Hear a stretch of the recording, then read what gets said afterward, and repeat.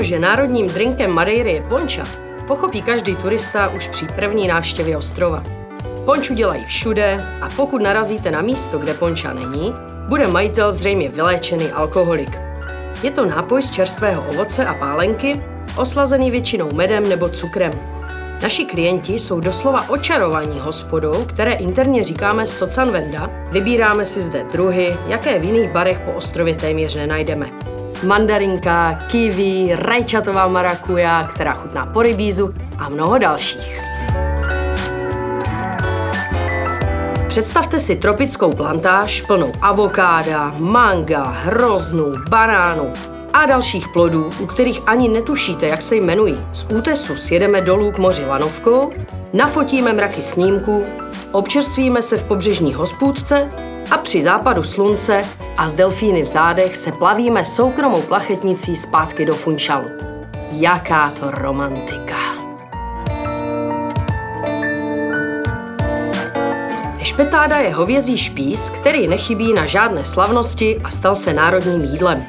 Jsou zde i restaurace soustředující se výhradně na tento špís a jednu z nich jsem našla ve vinařské oblasti. Všichni místní ji znají, turisti naopak vůbec. Majitel je řezník a jeho maso je opravdová lahůdka. Číšníci tu doslova běhají, nosí jedno víno za druhým, salát z vlastní zahrádky, domácí česnekový chleba a pak vám nahák nad stolem zavěsí vonavý špís. Dále si toho už příliš nepamatujete, protože upadnete do gastronomického komatu. Sever ostrova je divoký, sem tam se objeví malá osada, vinohrad, políčko se zeleninou a vysoké štíty hor. Vydáme se na krátkou procházku po bývalé vinařské stezce, která je zařízlá do skály 300 metrů nad oceánem.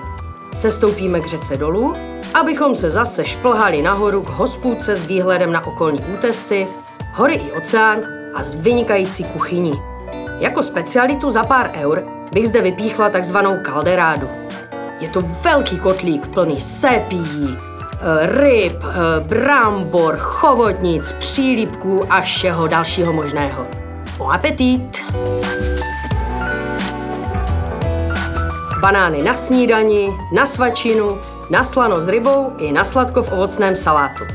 Banánům se prostě na Madejře nevyhnete.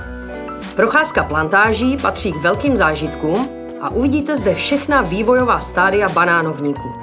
Od malých výhonků až po mohutné velikány, které se lámou pod vahou obrovských trsů banánu. Tak co? Dáme si banánový likér?